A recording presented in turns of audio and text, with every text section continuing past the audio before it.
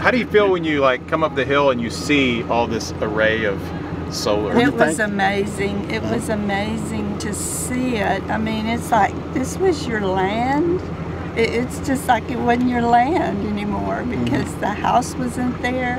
It is a mixed feeling. It's a mixed feeling. Um, you know, especially, of course, I'm older now, so it's kind of, you know, time to retire and all.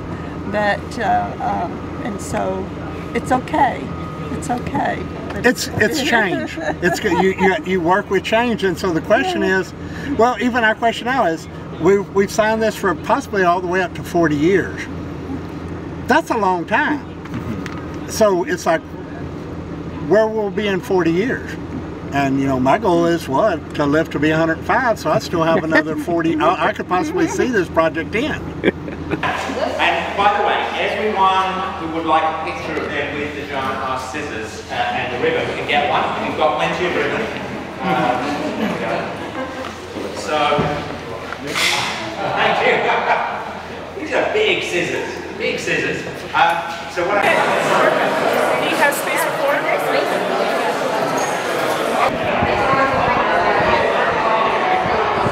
not have a track and our students run on the road, you know, for practice, and that's not always the safest thing. So we will have a facility in the near future where they can run safely. We are going to go artificial turf. What that will do for us is that artificial turf facility will also be our practice field. And so our current football field can be used for facility expansion as well.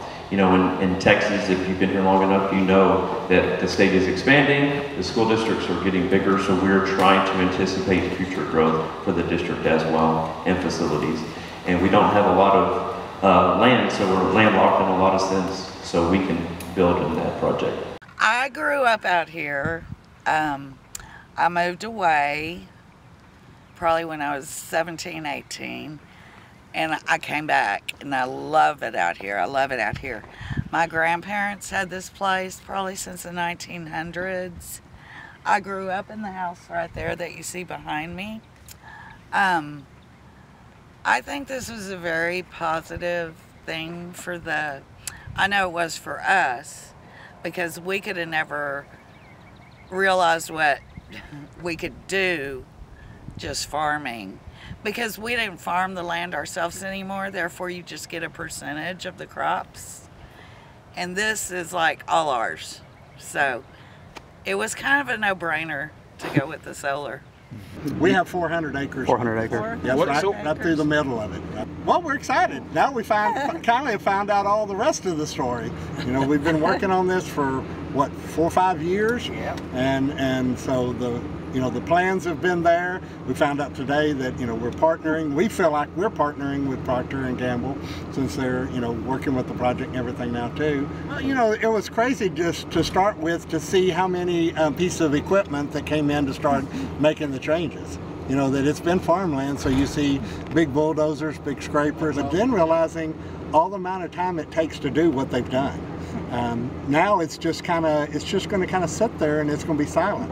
So you can drive out here now and listen to the birds, you know, seeing the you know the, just the kind of it's it's going to be different than what we're used to because we're used to seeing tractors, you know, especially in this time of the year in February, March, everybody's planting and that. So it's going to be quiet actually for for a while.